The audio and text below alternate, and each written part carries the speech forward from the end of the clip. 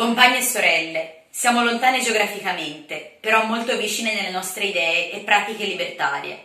Insieme a voi, diciamo che in questa guerra portata avanti contro l'umanità, noi, le donne dei popoli originari, stiamo alzando la nostra voce e ci organizziamo e mettiamo in cammino per la liberazione dei nostri popoli e di noi altre donne, che rappresentiamo la metà della comunità umana. Riconosciamo. Diamo valore alla vostra lotta perché tutte le lotte di qualsiasi donna in qualsiasi parte del mondo ed in qualsiasi tempo della storia che lottano, si ribellano e propongono di costruire nuovi cammini di vita di fronte al mostro patriarcale capitalista che ci opprime, è una lotta degna che deve renderci sorelle. Crediamo fermamente nel recuperare l'importanza di fermarci a partire dalla nostra comunità, non per scontrarci, ma per organizzarci con i nostri fratelli ed i nostri popoli questo sistema capitalista patriarcale di morte ci colloca, a noi donne, nella posizione più infima, la più scomoda, la più dimenticata e la più repressa. Ma non solo, e non solo colpisce a noi altre, ma anche i nostri fratelli. Però, se la comunità è malata, lo è ancora di più per noi donne. Abbiamo detto ya basta. Adesso basta che la nostra voce non sia presa in considerazione di ritornare nell'oblio dopo il risveglio generato dalle nostre compagne e compagni zapatisti più di vent'anni fa. Adesso diciamo che è giunta l'ora della fioritura dei popoli ed è giunta l'ora della dignità di noi donne, che nuovamente stiamo dando voce alle nostre lotte e continueremo a farlo.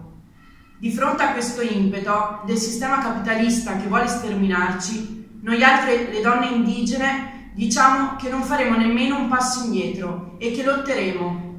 Ci organizzeremo con le nostre ribellioni e resistenze.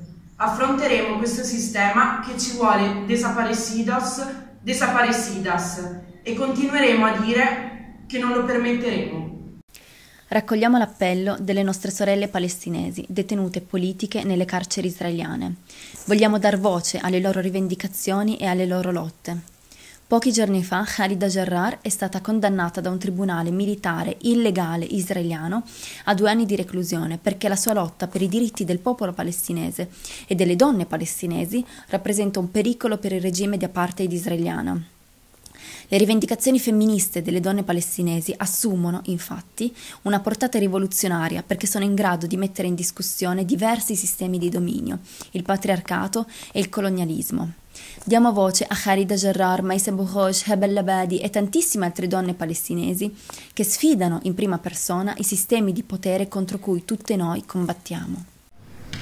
Con il ricordo vivo delle nostre sorelle e fratelli che sacrificarono la propria vita nella costruzione di sogni che continuano ad accompagnarci, vi salutiamo, vi abbracciamo e vi diciamo grazie, sorelle del popolo delle montagne, lontane nella distanza e vicine ai nostri cuori che sappiamo vivono, si organizzano, lottano e muoiono per la liberazione di tutte le donne e tutti i popoli del mondo. Che vivano i popoli originari del mondo, viva la fratellanza dei popoli, viva la degna lotta di liberazione delle donne.